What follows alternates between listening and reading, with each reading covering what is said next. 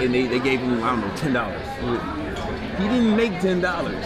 He lost. Lost. He lost 190. Exactly. This ain't like gonna be some rah rah motivational boost.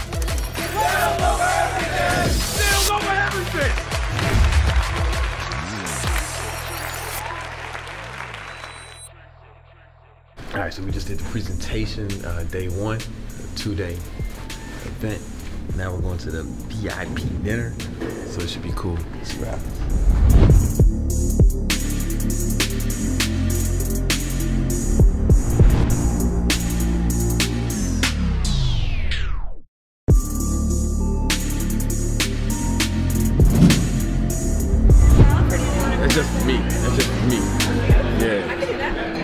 Thank. In, in addition to that, it, it, it might be helpful to, if, if it's possible, to have like like maybe pitchers of water for the table.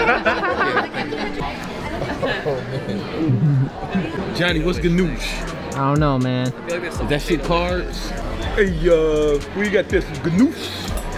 hey. hey, what is that? Some ganoush over there? What do you got? Ganoush over here, over there? Hey. What, what, what we got over there, over there? eh? Hey, I'm fucking ordering ganoush over here.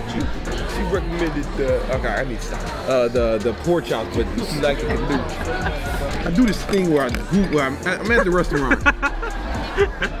We're over here at seven, number seven, Nail Lions, guys.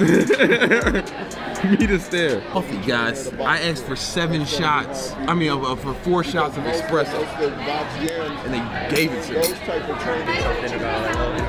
Saying, uh, how many hours you think you working with? As far as inside my gym or outside of my gym?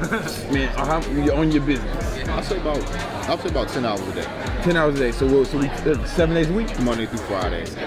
And I would say maybe about seven, five to seven hours on the weekend. All right, so we're talking about 50, let's call it 55 hours. Anything we can hire someone to do for less than $30 is a win. You feel me? You're saying like it's profit. You know what I'm saying? Because like now you Then that frees up your your your time to, do more stuff. Now here's the thing. To make more money. Not everything you do makes you like makes money. You make money training and doing sales. Anything you do outside of that is actually yeah, you- you're not making money. You're, You're you're actually losing losing money.